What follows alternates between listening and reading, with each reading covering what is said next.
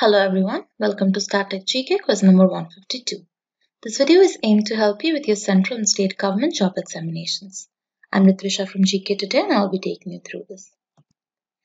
Which among the following is a correct definition of cyclotron? The correct answer is accelerator of charged atomic particles.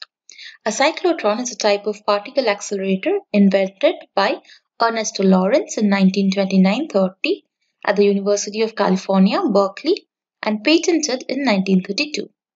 It accelerates charged particles outwards from the center along a spiral path. Which among the following are called thrombocytes? The correct answer is platelets. Thrombocytes are pieces of very large cells in the bone marrow called megakaryocytes. They help form blood clots to slow or stop bleeding and to help wounds heal. Having too many or too few thrombocytes or having platelets that don't work as they should can cause problems. Adsorption is used commonly in which of the following processes? The correct answer is chromatography.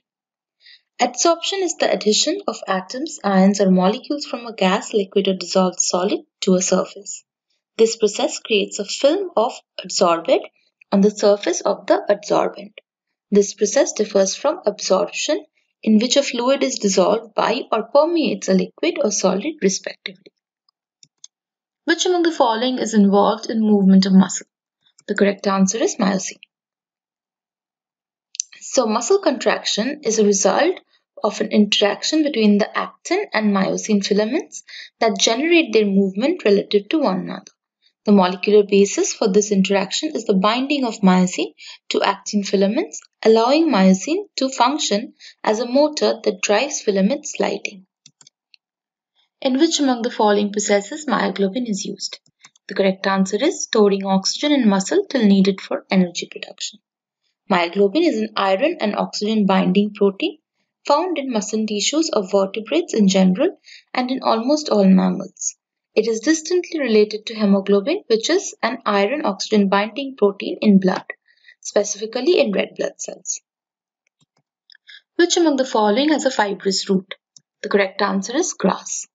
A fibrous root system is something that does not penetrate deeply into the soil but rather creates a thick network of roots that are good at holding the soil together.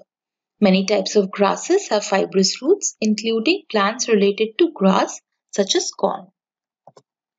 The helium atoms that have lost two electrons are called alpha rays. Alpha rays are actually high-speed particles. Early researchers tended to refer to any form of energetic radiation as rays and the term is still used. An alpha particle is made up of two protons and two neutrons, all held together by the same strong nuclear force that binds the nucleus of any atom. The edible part of ginger is actually a modified stem. So ginger is a rhizome which is a modified stem that grows horizontally underground and has nodes and internodes.